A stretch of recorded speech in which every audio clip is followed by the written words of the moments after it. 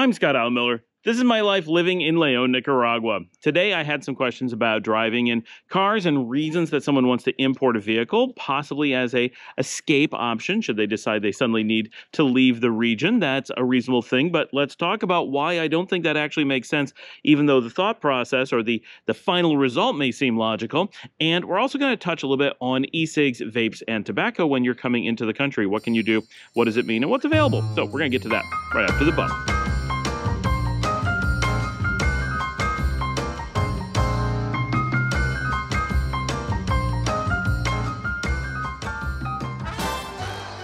Before we dig in deep talking about importing vehicles and reasons that you probably don't actually want to, even though the reasons you give may make sense, like everyone has a different reason, and they basically never makes sense. I've had some people who did have it make sense. It's not normal though. But before that, I did have someone mention on the channel that they came into the country with an e-cig, with a vaping product, and it was seized by customs. And then when he got to his hotel and explained that this had happened to him, they immediately said, oh, no problem, just go around the corner to the vape shop and buy one. So why did this happen? So this is actually important for people to know, and it's not something that we normally talk about because I don't smoke and I don't deal with it on a normal, normal basis in any way. But it is 100% forbidden for tobacco products, vaping products, e-cig products, anything of the sort to cross the border into Nicaragua. Now, you can argue that this makes sense or doesn't, but this is the law. So the uh, aduana or customs seizing those things should be expected. This is not them being arbitrary. This is not them looking for a kickback. This is their job. They are required to do this. Now, the reasons probably make sense, but it's not something people normally think about. One, we're not a tourist country. So places like Costa Rica, places like Mexico, they have a really strong need to cater to tourists and sometimes that means that they're going to have more expensive processes or more dangerous processes because it's more important for them to make tourists feel welcome than it is to keep those tourists or their own population safe. And you see that Obviously, this is not the only thing that drives this, but their safety numbers are nothing close to Nicaragua's. So when you're going to Costa Rica, a place that has three times the homicide and violent crime rate of Nicaragua, these are processes that they just approach differently right? And and they have different priorities. So that's fine right? We're not complaining about that but it's important to understand that nicaragua takes safety and drug trafficking to a serious degree that no one else in the region does. Literally, no country in North America comes anywhere close to as serious to stopping these things from happening as Nicaragua. So their processes are a little bit different. Also, Nicaragua is not a super rich country. They can't afford to have really advanced, massive scanning machines uh, at their borders. It's just not a, a, a financial backing for that stuff. So they have to do things in a practical way. So here in Nicaragua, they're really concerned about people smuggling in different types of drugs and tobacco and vaping products are a really good way to hide other drugs coming into the country. So if you want to control those things, they, they can't afford to have chemical scanners and all those things at every possible border crossing. So the options are either look the other way and leave that loophole in the transit system or simply ban it and then allow people to buy it in country.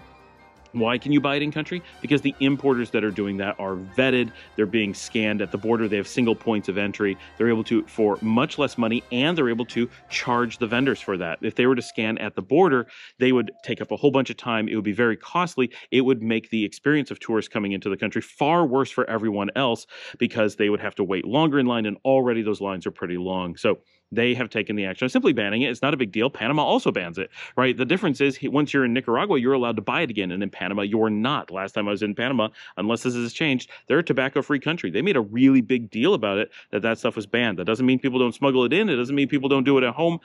But officially, they're not allowed to. So you can't just go around the corner and buy that stuff, nor can you import it. So that's really important to understand that everyone takes this differently, and it's something you just need to look up ahead of time. There's often, because Americans are so used to a culture where transiting with different types of uh, uh, substances like that between regions is just accepted because that's American culture. In much of the world, those aren't things that can cross borders. So if you're traveling with tobacco, uh, it, you know, almost anywhere you're safe that you can buy it when you're in country. But when you're traveling with it, you should should always expect to look up uh, each border that you're going to cross and see if that's something that's allowed to cross the border. Now, of course, you're not going to get in trouble bringing it into Nicaragua.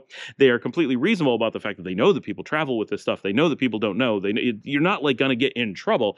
They're just supposed to take it away and theoretically taking away a partial package of cigarettes taking away a partially used vape that you you know accidentally brought with you on a plane while that's annoying, it's also should never be the end of the world, right? It's an extreme luxury item. It's a thing very few people can really afford, especially in Nicaragua. This is a very luxury item here, even though smoking is pretty popular. It's it's an extreme use of of financial resources in most cases. So it's not the kind of thing that they view as a, it's not a necessary thing, right? So so that's why it's treated that way. It's it's just a practical means uh, to attempting to to curtail drug trafficking in the country using practical methodologies. Okay, so let's get to today's real question about bringing in, importing a car into the country. So I'm going to read this because that is the best way to do it. So Goats Out for Justice says, what if I drive my car there and park it while there and just use a quad or something to get around town?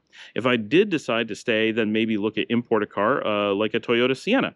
I might love Nicaragua or I might hate it, but having a reliable, reliable vehicle makes me feel safe, like I can leave anytime, anywhere I want. I really need my escape pod for emotional support and safety just in case. So it's important he's recognizing this is for emotional support. It is not for logical reasons. So, okay, let's work with that. So there's a couple things we got to say here. One, what if I drive my car there? That's always the wrong answer, right? Um, I understand there are cases, and I've considered doing it. Like you're bringing a lot of people, you're bringing a lot of pets, you really just like road tripping. All those things kind of make sense. The problem is if you cross the border, and every border between wherever you're coming from, we're just going to guess the United States because he wrote this in English, but could be coming from anywhere from Panama to Canada.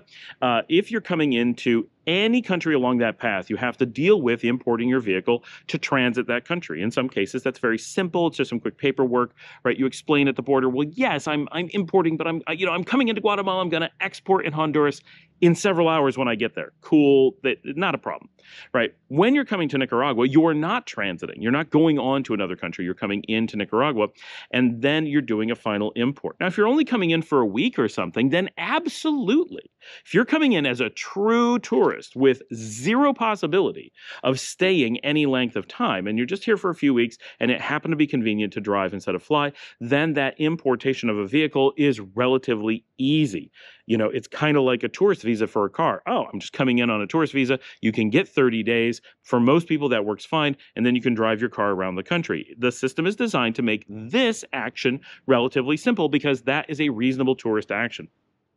There are also really good systems for when you are an official resident with with permanent residency. That's the ones we talk about, right? When you're talking about uh, retirement residency, investment residency, uh, foreign income residency, all those processes, they allow you to own a car in country, no problem whatsoever. They even allow you a one-time import of a car at, at really good uh, facilitation, right? And so, so all of that is great. What is a problem is in the in between. If you decide to be a permanent tourist and don't go for residency, and, and I do recommend that people do this all the time. So this is not like some weird thing that I'm saying.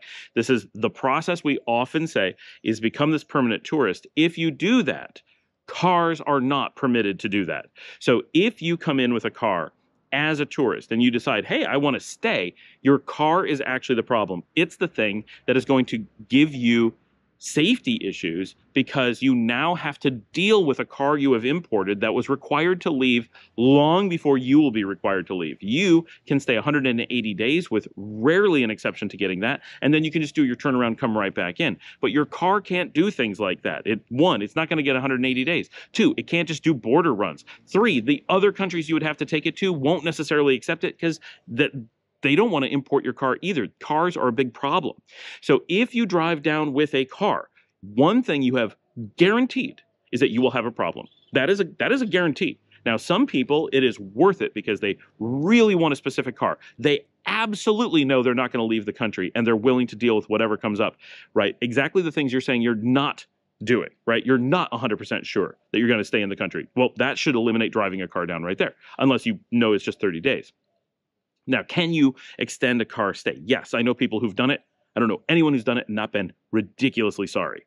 Right now, there's some people who are new to it and they're still like, yeah, it seems like it was okay. Right. But I don't know anyone who's done it for a length of time and not been really, really sorry. I know people that it was a major trigger for them deciding to move to another country because, and they knew they had set themselves up and created a situation they could not sustain.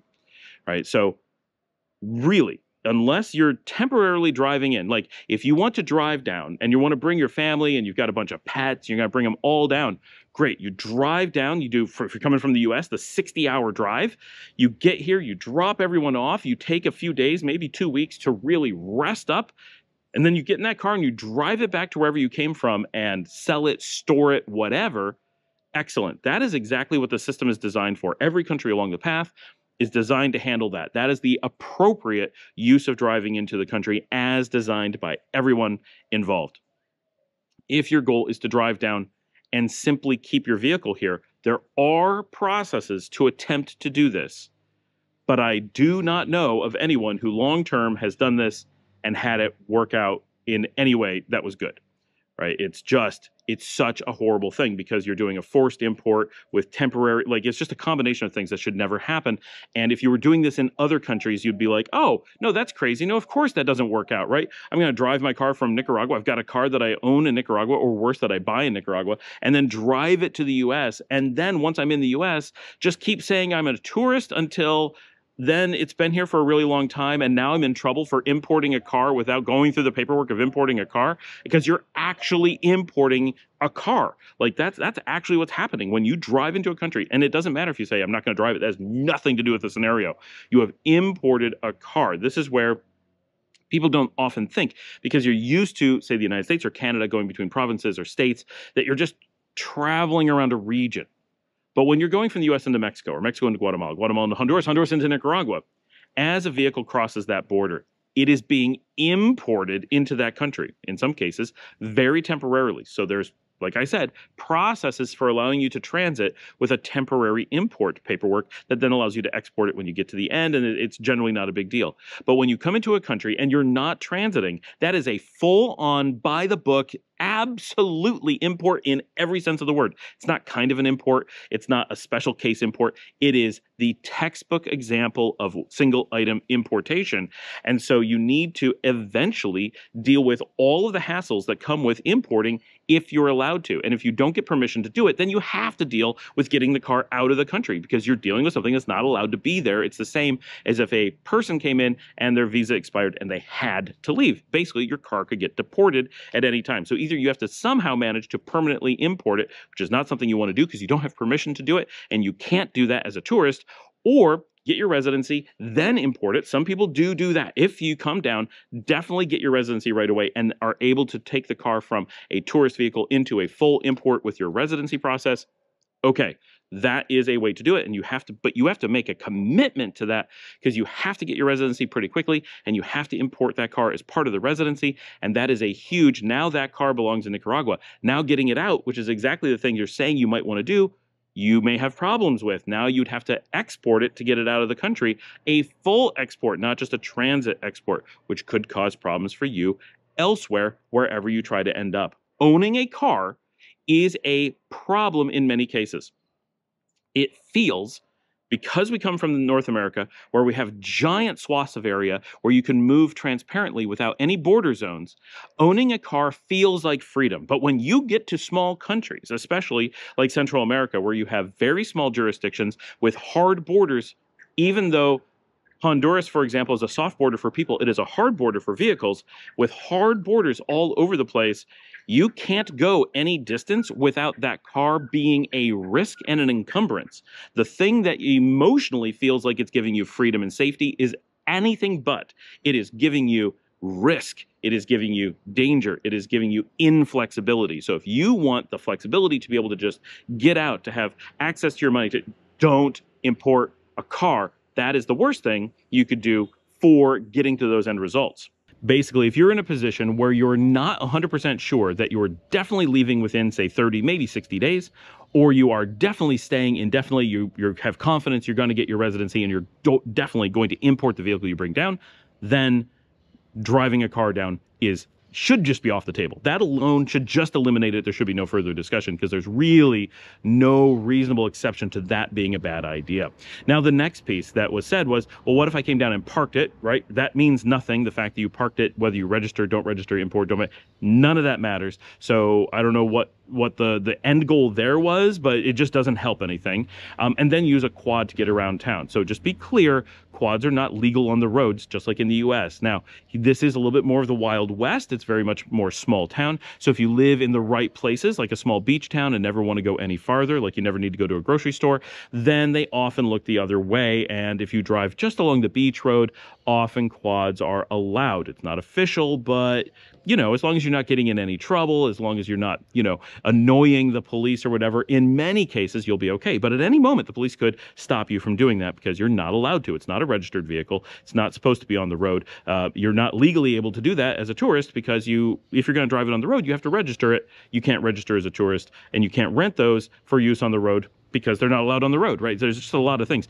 A lot of people do it and get away with it, but you're taking risks because officially you're not allowed to do that. And you definitely can't go into the cities or anything. They will certainly not allow that in Leon or Granada or Masaya or Managua or Chinandega or any place like that. Out in like Poneloya, yeah, a few people do it. But if any number of people do it with any regularity, it's going to cause real problems and they'll have to shut it down. And all it takes is one business or one local who decides you're being a problem and they go to the police and go, you know, this is illegal. They don't have that registered on the road and they're just a tourist. You got to do something. And the police will kind of be in a rough position where they're like, eh, yeah, we actually are supposed to do something.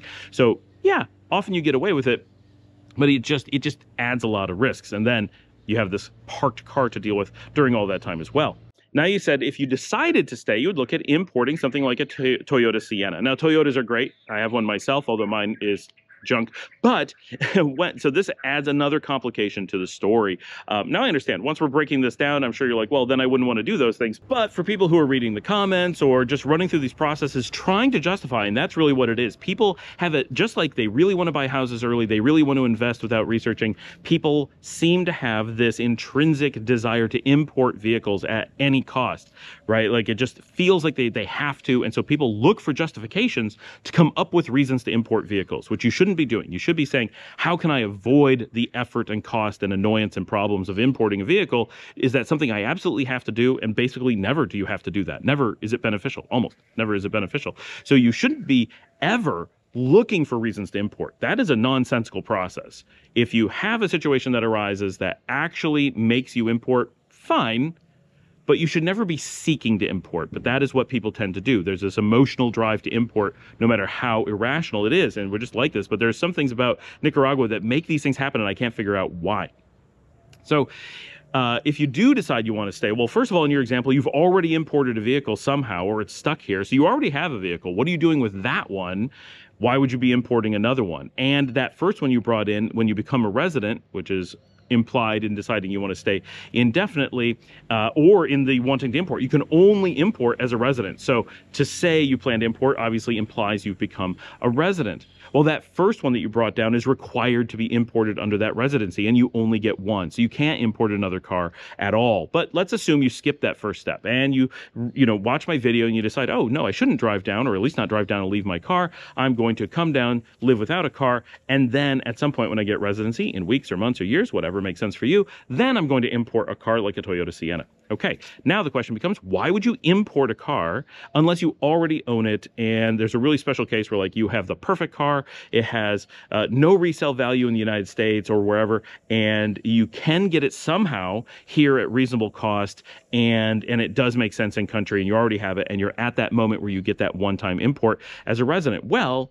okay, maybe it makes sense to bring a car once all those things have fallen into place but you would never plan on that, right? It just comes together at some point. If you can, under normal circumstances, if you have a car in the U.S., you want to sell it in the U.S. and then buy one in Nicaragua. And there's a couple of reasons for this. One, importing is risky. There's a lot of opportunity for something to go wrong in the import process. Like you have to ship it in a in a boat, it costs a fortune, it falls off the boat. You have to drive it a really long way. That's expensive and potentially dangerous. There's just a lot of things that you may want to avoid. If you do manage to import a car, now it's a vehicle that wasn't purchased in Nicaragua. So you definitely don't have any warranty. Anything that resembles a warranty is just out the window. And you can't import a really old car. Nicaragua doesn't allow old ones to be imported. So this is, you're definitely importing a recent car that should have some warranty or some protections in the United States. You're waiving those. So the value of that car drops dramatically simply by leaving the United States with it in an importation mode. Once you get to Nicaragua, you have only two options. Either you have imported a vehicle that already exists in Nicaragua, which implies you could have gotten it cheaper here and much easier here. And The opposite is you get one that doesn't exist here. Now you have a car that doesn't have parts available locally. We have limited parts availability. Even for the cars we have, it's not the best. So you really, really carefully, when choosing a car in Nicaragua, base your decisions off of what is available widely in country. So things like a Toyota Corolla, a Toyota Yaris, a Toyota Land Cruiser, a Toyota Hilux, a Toyota Hiace, those vehicles from Toyota you can safely feel that you can own without problems. But other Toyota vehicles may not be uh, widely available in country, mechanics aren't that familiar with them, and parts are maybe only available in Managua, if at all. Something like a Sienna, which I've never seen in the country, you're looking at potentially having to fly in parts from Japan every time you get repairs done. And that's completely doable if you're an automotive collector and you're willing to let your car not be a reliable thing and just get it fixed when you can. But if your goal is reliability or safety, which is specifically what you mentioned, that should rule out importing and vehicles that are not standard in country right off the bat because that's how you get your reliability and safety is by having them be super standard. There are a number of car makers that are available in country here with good part supply. Uh, Toyota, Nissan, Mazda, uh, a couple Chinese makers um, and and a couple Korean makers, Hyundai, Kia.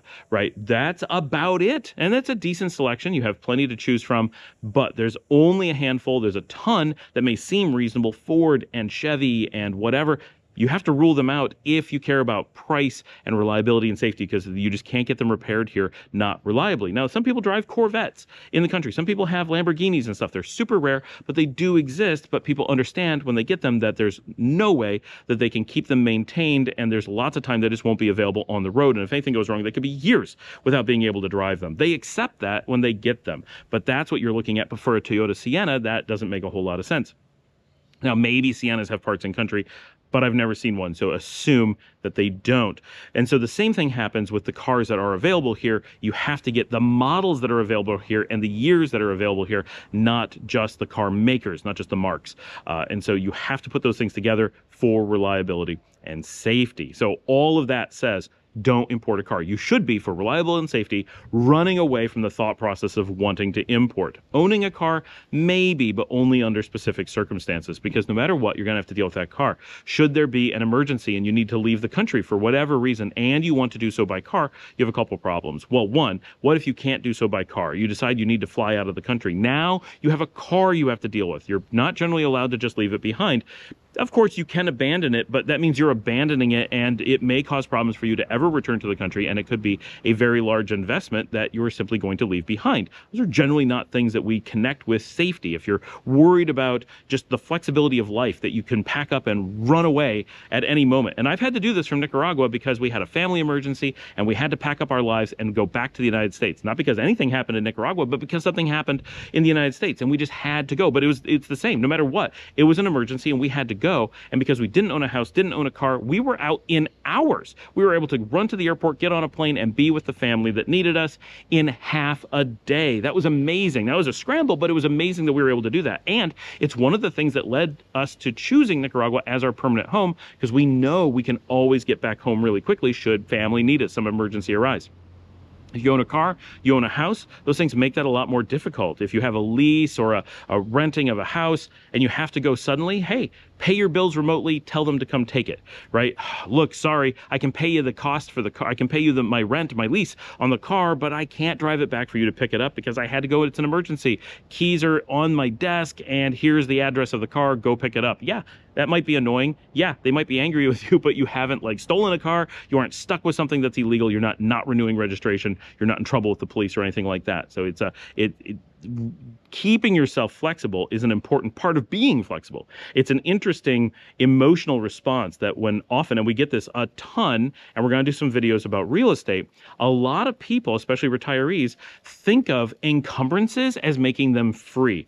And I don't know where this mindset comes from, but people tend to think that owning things like owning houses, owning cars, somehow give us freedom. And this is something that people selling houses and selling cars, of course, push really, really hard. But logically, the more things you own, the less flexible, the less free you are.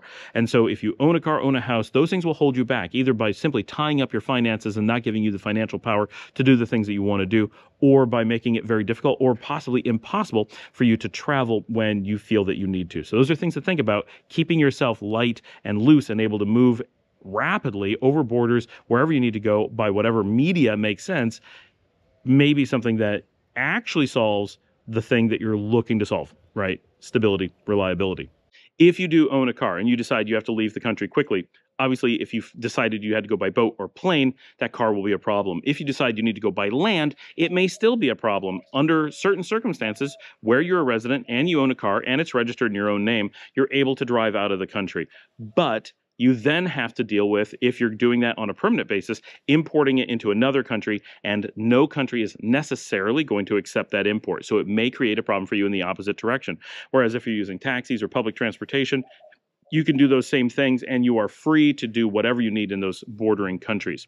So I'm not saying that there's no circumstance where you want to own a car. Certainly you often do, especially if you're a resident and I own a car myself. So I understand that there are reasons to own a car, but I don't own the car under the purpose of being flexible. I own it because I need to do things in country and I have businesses and I need to travel around and shoot things and shoot the show in different locations and I want to be able to cross the border and explore the region with my camera gear and stuff and I have to move my kids around. I have the car for those reasons, and that totally makes sense. And lots of people have reasons why they need vehicles. I'm not saying you shouldn't own a vehicle, but carefully evaluate why you want to get a vehicle and the way that you want to get it. For 99% of us who live in any country, you want to buy your cars in country, even though they may have a higher tax rate, they may have a lower selection. Those are all factors you have to consider. That importing has its own cost, has its own risks, and no matter where you are in the world, having a car that is easily serviced and parts available and knowledge is available of it and able to be resold in the country that you're in is generally the most important factors. But the last thing they said, and I've already touched on this, but he doesn't know if he's going to love or hate Nicaragua or be indifferent to it, presumably. And it seems like having a car means he can leave anytime, but that's exactly what it doesn't mean in order to have a car, it means you've made a big commitment. You're already to some degree trapped. Not completely, you can always leave, but that car may be the thing that stops you going over other borders. Well, I'm moving to your country. Oh, but you have a car. How do you plan to do that? Well, I plan to import it into wherever it is you want to go, Costa Rica, Honduras, Guatemala, whatever. You name the place that you're driving to. You now have a car and you need them to accept that car. If they decide not to accept that car, even though they might accept you, you're stuck turning around and heading back to Nicaragua. And so that car could become the thing that stops you from being able to choose where you want to go. So owning a car, using a car that you own as a means of traveling to a new country fundamentally means risk and inflexibility. That should always be something when you're a traveler, you're just a backpacker, you're living out of your car, you're driving from place to place, you're just a tourist, you're flexible to go wherever it makes sense. Yes, that is a different thing. When you are looking at relocation and you're like, oh, I went to this country, I decided I didn't like it, I'm going to drive on to another one. You have a problem. That car is now something you have to deal with. And you could, like my friends who did this into Nicaragua, spend your entire life dealing with that car and never get to experience the place you came to because you don't have all of your permissions in place. It doesn't, it's not a logical vehicle for what you're doing. The process is never supposed to happen that way. And so you're in this, this limbo zone of being stuck outside of the jurisdictions that own the vehicle and you may not have permission to return to the ones where the vehicle is required to be. You may not have the means to sell it where you need to, because remember, if you go to another country, you're not allowed to sell a car that came from another country. I know of no country that allows you to do that. You have to return and sell it there or do a full import before selling it. So the idea that you're just going to abandon a car or sell a car, those aren't things you're allowed to do. Some people get away with it sometimes, but it is a crime. It is, especially you have to worry about tax fraud and money laundering moving a vehicle between jurisdictions, if that vehicle is worth over $10,000, is a necessary mandatory reporting for money laundering laws. And uh, in many cases, what people do, you know, oh, I bought a car here, I'm going to take it here, I'm just going to sell it to somebody. That's hiding a major transaction and technically qualifies as money laundering. It qualifies in the US, qualifies in Nicaragua, qualifies in every other country in the region. So you really have to think through working around those processes. They're, they're, they're there for specific reasons. And I know when you're a consumer and you're just, it seems like, well, I can just buy a car and drive it places. It's my car. It doesn't work that way. Cars are like houses and you can't just transparently ship them between jurisdictions because they have insurance tied to them, they have risk and they have ownership and they have VIN numbers and they have all kinds of things. Cars are simply too large of an item that you can't move them around like you can your suitcase. So just to recap, there are very few scenarios where we would really recommend coming down and importing a vehicle and very few where we'd recommend driving down in a vehicle. They certainly exist. There are special cases, but they are not for most people. And for most reasons that people think they're going to want to do it, they should step back and evaluate is this really something that you want? Does it really make sense? Or is it an emotional reaction that it just feels good and you don't actually have really solid, this will solve this problem for me? Because it's not going to get you across the border any easier. It's not going to allow you to leave more quickly. It's not going to give you flexibility or financial freedom. It may solve some other problem, absolutely, but really stop and think what is the exact thing that you're trying to work for. And, and, when we're talking to people who are looking at relocating time and time again, what we find is a few things. There's some patterns of bad behavior or, or self-defeating behavior that are encouraged, whether it's just a cultural thing or an emotional thing, or there are predators here in country that are trying to make, and we're not talking terrible predators, just people looking to make a little bit of money off of you, trying to sell you an extra car, sell you an extra house, sell you an extra service. So watch out for that stuff. Are you being encouraged to do bad things by people who just are looking to get into your wallets. That may not be great, right? And it's also important to understand when you're moving to a new country, there's a, if you're going to a really big country, if you're coming to the United States, you have a lot more freedom, meaning you have a lot of flexibility as to the ways in which you can enter the country. You could ship your, your stuff in a bunch of different ways. You could buy your stuff a bunch of different ways. You can get a vehicle because it's a big, big country. And there's so many people doing different things and so many offices and and officials and and just ways to do things. When you're coming to a place like nicaragua there's only a couple ports of entry. There's only a couple people that you're going to deal with during the immigration process. Every little thing is very small scale. There aren't uh this there isn't the scale necessary to have all these different processes worked out for you. And so so edge cases don't get treated well. Not that they don't want to just that it's completely impractical. It's so expensive to try to deal with one-off situations. There are very straightforward, very obvious, very logical, very just normal ways to move into a new country, ways to approach it. And that's almost always what you want to do, especially when coming to a smaller country like Nicaragua. You want to take advantage of being part of the mainstream, take advantage of things being quick and easy and simple and handled for you. And yes, it may not be tuned or customized just perfectly for the way that you want to do it. You really want to bring in that one car, right? I've got a friend had a really nice sports car, muscle car back in the United States. Did he want to bring it down? Absolutely he did. Would it cost him an arm and a leg? Yes, it would have. Now that he's here, he realizes it wouldn't have fit down most of the roads. It would have bottomed out everywhere in town. There's reasons why it doesn't make sense to have them here and why people don't sell them here. But until you live here, it may feel like, wow, of course I want to bring down my Lamborghini. That's who wouldn't want to have one? I already own it. I don't want to sell it. I'm going to lose money. I want to just have it, right? I bought it for a reason. Oh, wait, there's no road in the country where it's going to be able to go very fast. There's no place where I'm going to make it down without bottoming out. Oh, I'm going to ruin it in no time in all the salt air. Maybe I don't want it right? Maybe you don't. You want to get here, be normal, do the things that everyone does. And then once you're here, once you're a resident, once you spend some time, in almost all cases, this is what it comes down to. Get down here, get to know what it's actually like, then start making these big decisions. How am I going to get a car? Don't don't lead with how do you get a car here? Like it, it's really tempting and and everyone does this. I'm going to find a house I want. I'm going to find a business I want to invest in. I'm going to ship my car.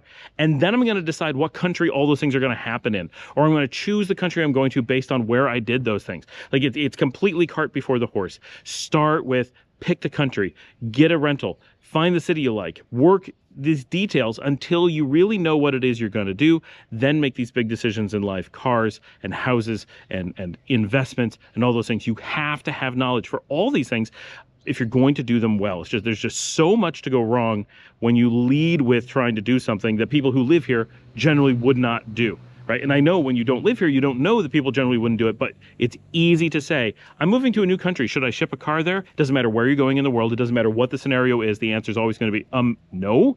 That's really weird. That's a really strange thing to do. Again, if you have a Lamborghini and you're you're moving to France where people have Lamborghinis and drive around, okay, right? And if you own a Lamborghini, you probably have some other resources, so it may be different. But when you're talking about anything involving normal cars, shipping them to a new country because you think you might want to move there falls into a nowhere in the world ever is that a process you'd probably want to do, right? So think about it in the global context. And if it doesn't apply anywhere else, yeah, Nicaragua could be unique assume in situations like that that it's not unique and that normal uh, moving and relocation and house buying and car buying and imports and exports and all those things are going to apply and you don't want to make it a special case and do things that you just don't do when moving. So thanks for joining me. Like and subscribe. I hope that helps everyone understand a little bit more just why we recommend at least waiting, if not never, doing these kinds of things. Importing a car is a very special case scenario that probably won't apply to you. Uh, if you'd like to help support the channel, you can buy me a coffee at buymeacoffee.com slash Scott Alan Miller. That comes directly to me and helps make me able to afford to import cars. Just kidding. I'm not going to do that. Actually, I might. I do have a case. I'll explain in, a, in an upcoming video at some point the car that I'm really interested in importing, but I have a really specific reasons for doing it. I've been here for a long time. I know the car. I know where I'm going to import it from. I've addressed all the reasons that it makes sense to get. I've worried about the reasons that it doesn't make sense to get, and I plan to use it for the channel, and I know how I'm going to handle maintenance, and it's not my only car, and it's really, really cheap, and it's a special case that only fits because of my resident. It's just a lot of things. But if you'd like to support the channel, you can do so. Buymeacoffee.com slash Scott Alan Miller. And of course, post on social media, tell a friend, family member about the show, get them hooked, get them watching, help them to learn more about relocation and Central America, Latin America, the whole living abroad, digital nomad lifestyle, all those things that we cover here, plus just another day in the life of Scott because um, maybe, maybe I'm interesting. I don't know.